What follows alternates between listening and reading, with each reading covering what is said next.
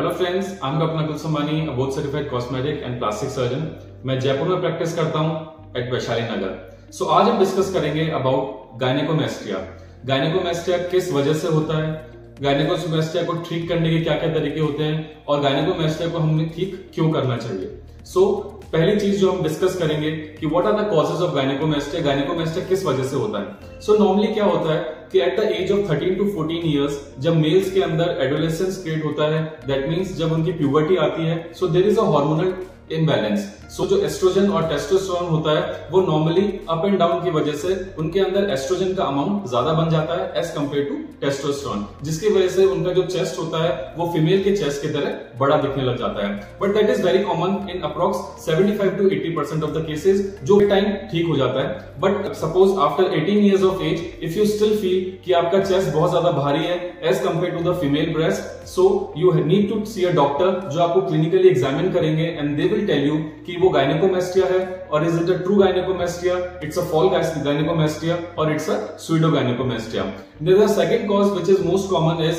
जो लोग जिम जाते हैं या जो एक्सरसाइज करते हैं so because of the supplements जिसके अंदर के अंदर स्टेरॉइड्स मिला हुआ होता है so that is a steroid induced gynaecomastia जो स्पेशली बॉडी बिल्डर्स होते हैं या जिन लोगों को अपनी बॉडी बनानी होती है so they consume all those supplements जिसकी वजह से उनके चेस्ट के अंदर जो निप्पल वाला एरिया होता है स्पेशली वो उसमें पफिनेस आ जाती है so that is a gynecomastia and gynecomastia में एक चीज़ आपको समझनी ज़रूरी है। Gynecomastia composes of two things first is the fat and the glands so what are the various ways by which you can examine at home as well कि आपको gynaecomastia है या नहीं? So the best way possible is कि आप एक mirror के सामने अपना शर्ट उतार के खड़े हो and if you see your nipples तो उसकी साइज़ बड़ी होगी as compare to the normal chest जो एरियोला का साइज़ होता है, वो बढ़ जाता है if you have because of the increment in the gland size and the second thing is that you can do is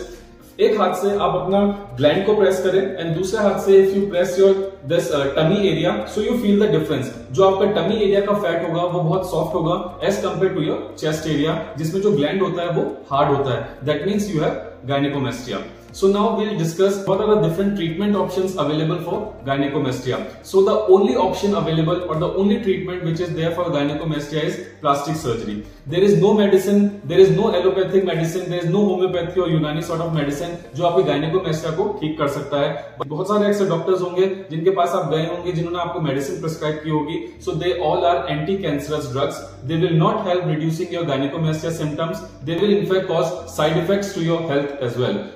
the only treatment option is plastic surgery which a one shot treatment जिसमें हम liposuction के through आपका सारा fat बाहर निकाल देते हैं and एक छोटे से होल के थ्रू हम आपका सारा ग्लैंड बाहर निकाल देते हैं। So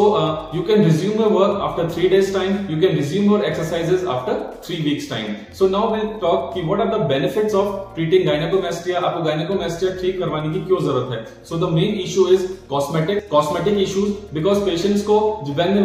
टाइट टी शर्ट्स और टाइट क्लोथ्स सो जो उनका चेस्ट का शेप होता है वो फीमेल के ब्रेस्ट की तरह दिखता है so they don't feel confident about this and second thing is because of the peer pressure because आजकल इन द टीनेज ग्रुप और इवन आफ्टर दैट जो फ्रेंड्स uh, होते हैं जो फ्रेंड सर्किल होता है उसमें भी बहुत सारे ऐसे आपको इंसिडेंसेस होते हैं जिसकी वजह से आपको अपना कॉन्फिडेंस लूज करना पड़ता है. So just to gain your confidence and for the cosmetic issues you should go for the gynecomastic correction thank you